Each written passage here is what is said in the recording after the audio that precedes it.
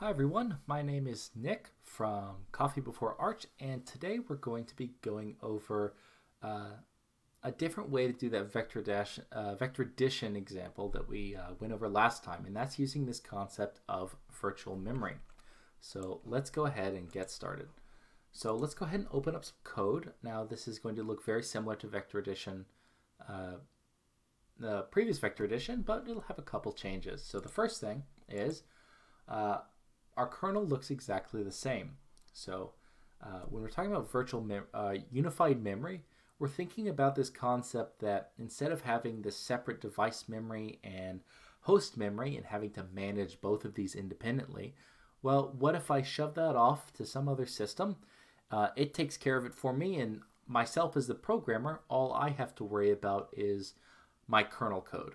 Uh, which is ideal for programmers. Uh, managing memory can be messy sometimes, especially when writing very complex, uh, very complex code. So in this case, like I said, our, our kernel is, is exactly the same. So let's go to our main function. Now, in this case, uh, last time when we looked at our previous example of vector add, we had to declare two sets of pointers. We had to declare our pointers to uh, host memory or CPU memory that we used malloc for, and then we had to get our pointers to device memory that we used CUDA malloc for. Now, in the case of unified memory, we strip out this process entirely by having one set of pointers, and we call CUDA malloc managed. Now, this says that you know this is going to be uh, we're not going to manage this. This is going to be uh, we're not going to manage where these uh, this data lies at any given time. It's if it's in the CPU and it should be on the GPU, that transfer will automatically happen. And if it's on the GPU and it should be on the CPU, that transfer will automatically happen. Uh, either behind the scenes or sometimes we can give some hints to say, well, you should be on the GPU now or you should come to the CPU now. So we'll have the exact same thing. So we'll, we can treat these still as regular pointers. Like I said, these can be accessed from uh, either the CPU side or the GPU side. Um, so we'll just we'll initialize them and then we'll use the same side uh, dimensions of our grid and blocks. So 256 threads per block and then a grid size of the number of elements divided by our block size 256. Now, even our uh, our CUDA launch looks exactly the same. And so uh, this is just kind of goes to show that all that we're really trying to strip away is this idea that uh, uh, we're trying to strip away this idea that um, we're, we have to manage our own memory. Now there is one new line though, which is this CUDA device synchronize. Now why do we need this line? What, what does this line do? CUDA device synchronize says that at this point in execution, after the synchronization point, all previous events on the GPU have finished. Now, why is this important? This is important because in CUDA, uh, CUDA launches, or when we launch kernels, this is an asynchronous launch. So we go ahead and we launch things to the GPU, but by the time we return from that function, uh, that kernel is not guaranteed to have finished yet.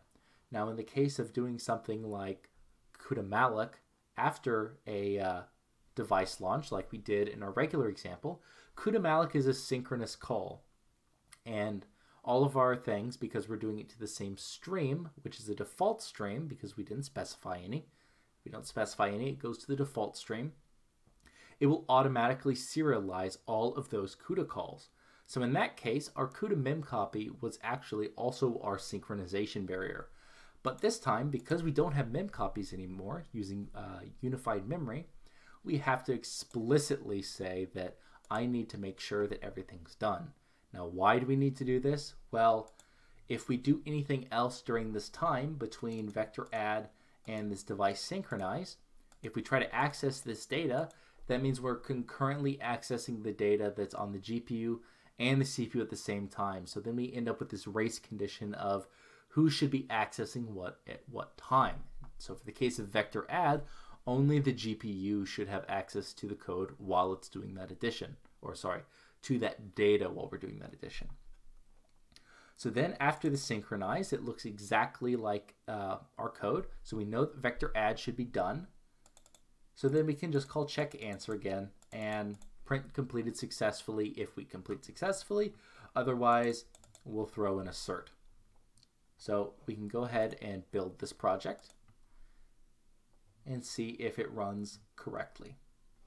So same size of uh, 2 to the 16 elements in each vector. And we run.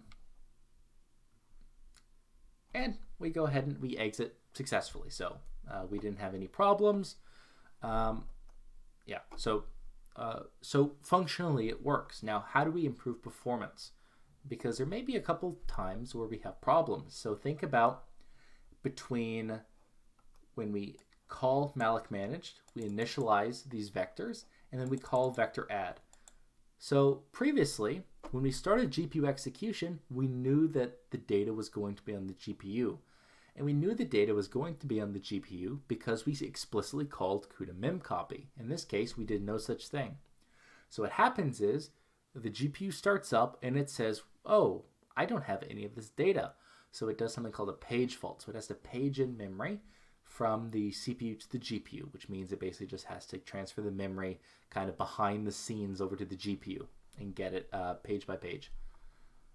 Uh, now the size of these pages can be different. I'm not quite sure what the page size is on GPUs, but it's generally so for CPUs it's generally 4K, so it'll, cha- uh, it'll transfer the granularity of four uh, ki- uh, kilobytes. Now, how do we speed this up? Now we can give hints to say when, da- uh, when data should be where, and we do this by prefetching. So prefetching just says, okay, behind the scenes, you can start transferring data while we're doing other things. So in this case, we can call CUDA mem prefetch async, and then we can say, I want you to prefetch a of size bytes to ID. Now this ID comes up here from CUDA get device ID. So in this case, it will get the device ID of the GPU. Um, if you have multiple GPUs, there'll be multiple device IDs that you'll have to sort between. But in this case, we have a system with one GPU. So when we get this ID, it will automatically be the identifier for the single GPU. And so this just says in the background, so asynchronously, start transferring data ahead of time. Uh, now we can also have on the other side, over here, so after our synchronization, we can also start prefetching the uh, device back or the, de the device memory back to the CPU because we know that you know the GPU's done, its kernel has finished, it doesn't need the data anymore. So there's a built-in CUDA CPU device ID, and this just says uh, like we don't need to calculate our CUDA CPU device ID; it automatically knows it. Uh, it's a built-in, so we'll just say I need C of size bytes, and I need it on the CPU now. Okay, and so we can go ahead and rebuild this. And looks like it's rebuilded, uh, the rebuild was successful, so we can go ahead and run it again. And there we have it. So we completed successfully again. So we didn't throw an assert, didn't, didn't yell at me.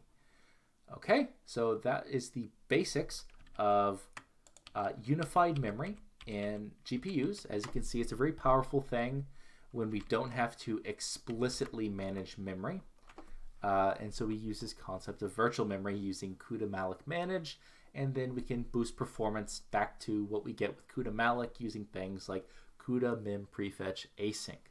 Uh, uh, as always, all the code and examples are located on the GitHub page for Coffee Before Arch.